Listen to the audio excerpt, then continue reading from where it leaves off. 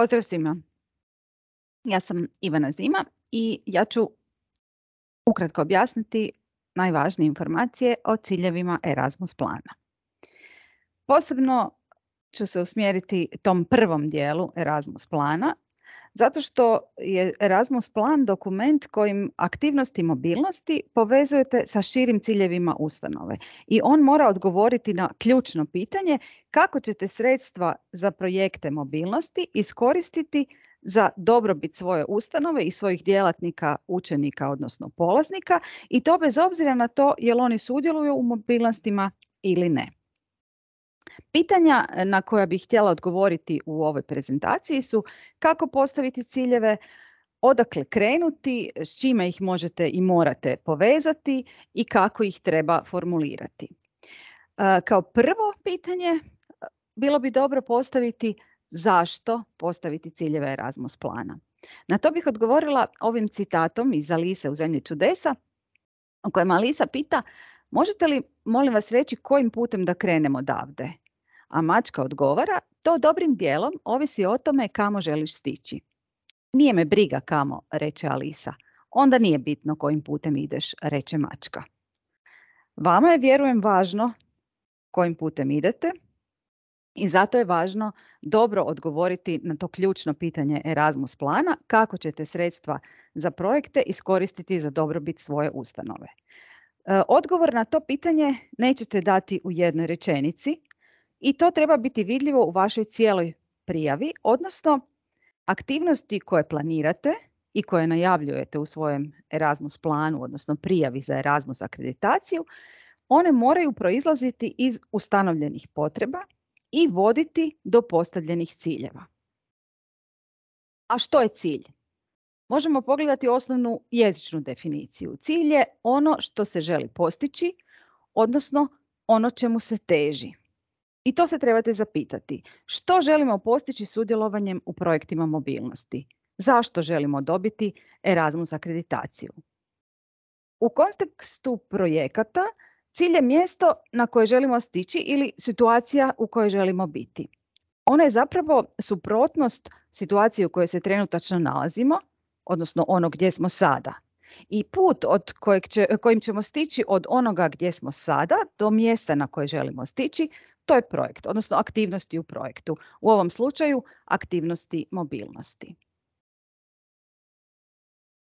Prije nego što postavimo cilj, trebamo dijagnosticirati postojeće stanje. To je zapravo vaša motivacija za provedbu projekta. To su uglavnom potrebe ili problemi vaše ustanove i njezinih zaposlenika ili i učenika ili polaznika, ovisno o tome e, kojem području pripadate. E, to su uglavnom potrebe ili problemi vaše ustanove, rekla sam. Dakle, e, treba dobro razmotriti i širi i uži kontekst tih problema. Možete ih grupirati po područjima, možete ih poredati hijerarhijski. Svakako je važno da ti problemi koje opisujete budu specifični za vašu ustanovu, a ne općeniti problemi svih ustanova u, u području u kojem radite. I zato je važno navesti dokaze, odnosno opisati kako ste te probleme ili potrebe ustanovili. I pri tome nemojte navoditi sve probleme i potrebe koje vaša ustanova ima, nego samo one koji se mogu riješiti. Možda vam sad u ovom trenutku to nije sasvim jasno, ali vidjet ćemo dalje na e, primjerima što se tu točno misli. E, dakle, važno je također te ustanovljene potrebe i probleme argumentirati, odnosno potkrijepiti e, sa što više dokaza. Evo primjera kako taj opis potreba, odnosno opis problema ili vaše motivacije za uključivanje u projekte ne bi trebalo izgledati.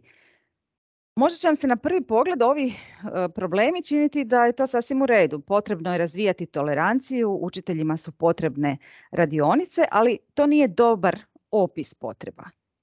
E, možete se sjetiti malo prije što sam rekla o dokazima i o tome da je potrebno biti što konkretniji i specifični baš za vašu ustanovu. U ovim primjerima to znači da, evo, na primjer, treba opisati kako je u ovom drugom primjeru, kako je utvrđena rodna neravnopravnost, kako ste ustanovili da je potrebno razvijati vještine komunikacije, gdje ste ustanovili taj problem, koliko je prisutan, kod kojeg broja učenika, jeste li ga i kako pokušali riješiti. ovaj prvi primjer je vrlo općenit. Zašto želite unaprijediti rad svojih djelatnika? Koja područja želite unaprijediti? Što njima nedostaje? Kako ste to ustanovili? I tako dalje. Kada koncipirate ciljeve svojih projekata, vrlo je važno da oni budu u skladu sa ciljevima programa Erasmus+, i sa ciljevima ključne aktivnosti 1, odnosno Erasmus akreditacije, a ujedno treba uzeti u obzir i prioritete programa Erasmus+.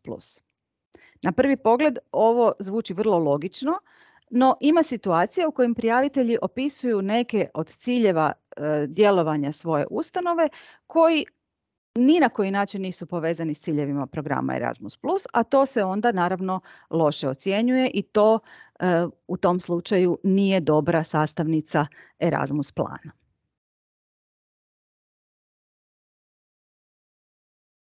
Ciljevi projekata svakako trebaju opisati kakva i kolika promjena će se dogoditi i kod koga uslijed provedbe projekta, odnosno nakon provedbe. I to kad govorimo o pojedinačnim projektima, onda nakon jednog projekta, a u ovom slučaju nakon niza projekata e, koje ćete provesti, akreditiranih projekata koje ćete provesti kao nositelji akreditacije. Dakle, treba opisati željeno stanje nakon provedbe koje je suprotnost od potreba i problema u kojima se trenutačno nalazite. Ciljevi se formuliraju kao kratke, jasne i konkretne izjave. Nešto je postignuto, nešto je povećano, osnaženo, ojačano i slično. I ciljevi svakako trebaju biti SMART. Taj akronim SMART ste vjerojatno već više puta čuli, ali ne škodi ponoviti. Što to znači? Ciljevi trebaju biti relevantni, ostvarivi, specifični, mjerljivi, vremenski određeni. Isto tako, važno je razlikovati ciljeve od aktivnosti. Cilj je naime ono što želimo postići, a kako ćemo to postići, to je aktivnost. Naime, vi planirate aktivnosti mobilnosti. U tom slučaju aktivnosti mobilnosti nisu cilj, oni su sredstvo kojim ćemo postići cilj.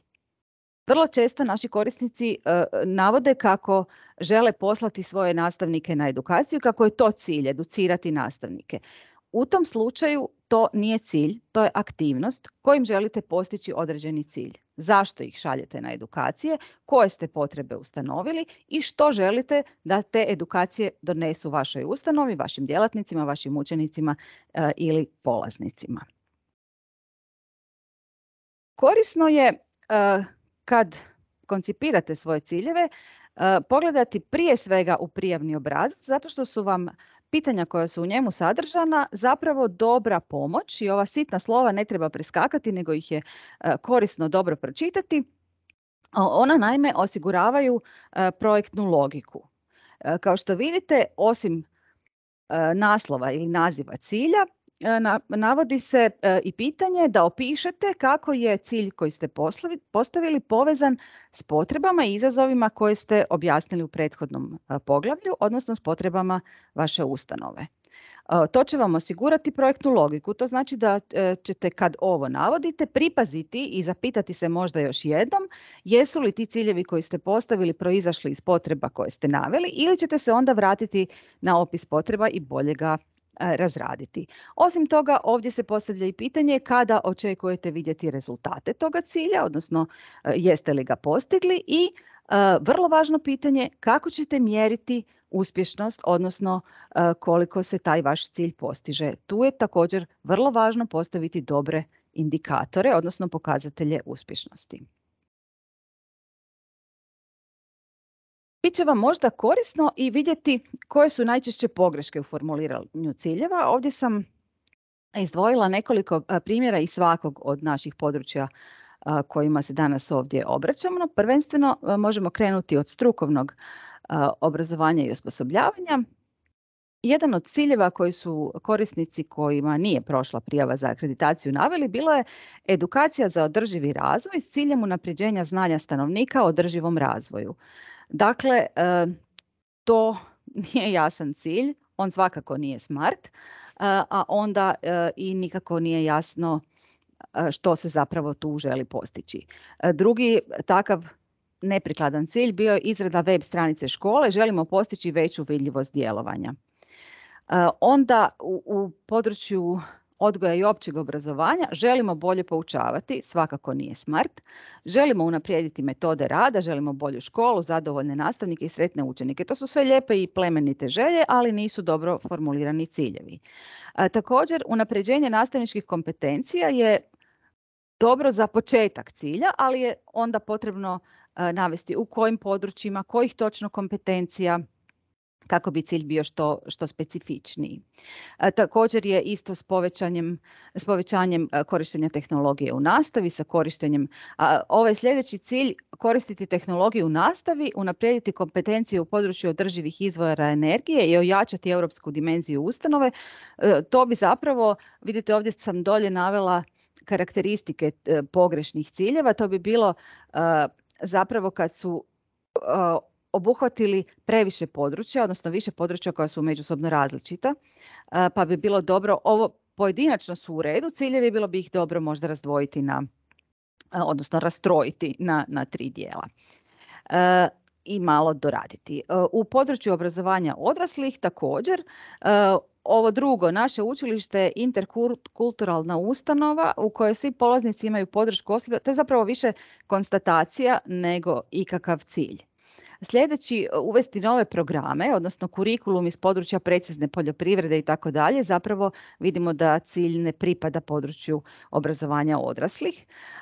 A ovaj povećanje opće dobrobiti korisnika i osoblja za najmanje 45% vidi se da je nastojao biti eh, konkretni, odnosno nekako mjerljiv. On je tu naveo neki postotak koji se može mjeriti, ali zapravo nije jasno na koji se način može mjeriti dobrobit i šta to znači povećanje opće dobrobiti korisnika i osoblja.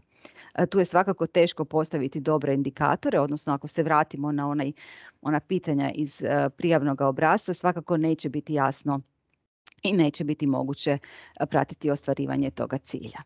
Dakle, evo tu još jednom, koje su karakteristike loše koncipiranih ciljeva? To su ciljevi koji su preopćeniti, preširoki, koji možda obuhvaćaju više područja, međusobno različitih, koji nisu dovoljno jasni, e, vremenski rokovi postizanja tih ciljeva, koji nisu usmjereni odabranom području e, i ovo je važno spomenuti, usmjereni samo na sudionike mobilnosti. Kad smo govorili na početku e, u čemu je važnost Erasmus plana kao takvog cijelog, znači kako hočete vi, eh, s, eh, aktivnosti mobilnosti koje planirate iskoristiti za dobrobit cijele ustanove. Znači važno je da e, ciljevi vaših projekata koje planirate nisu usmjereni samo na sudionike mobilnosti nego za na cijelu ustanovu i druge zaposlenike i učenike odnosno polaznike koji nisu sudjelovali u mobilnostima.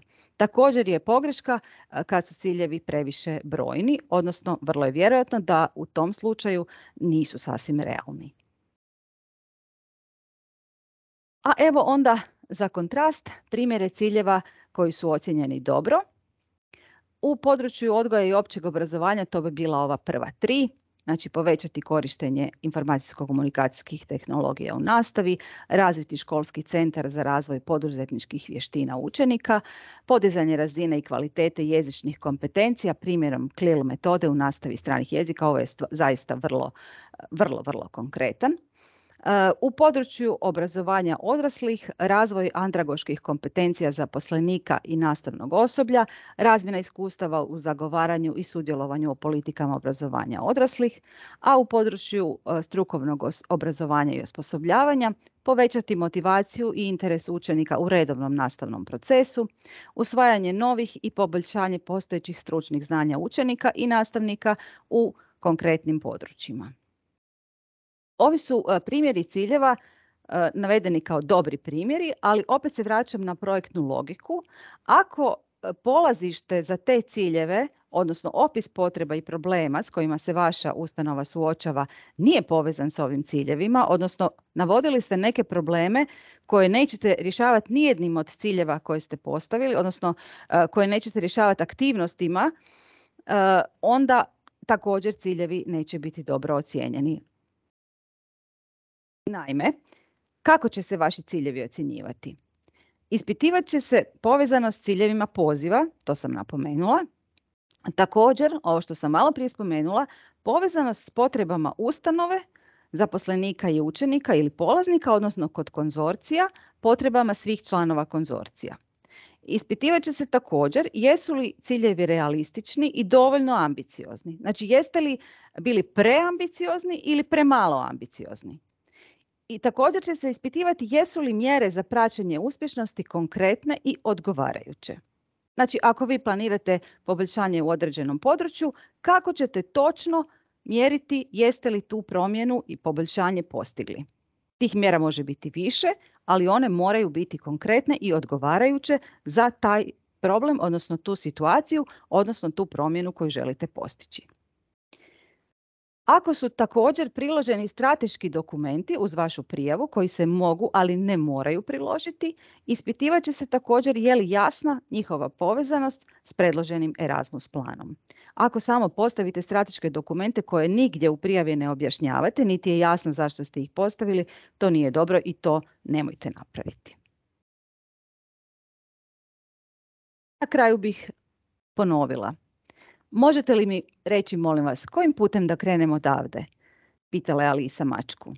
To dobrim dijelom ovisi o tome kamo želi stići, reče mačka. Nije me briga kamo, reče Alisa. Onda nije bitno kojim putem ideš, reče mačka.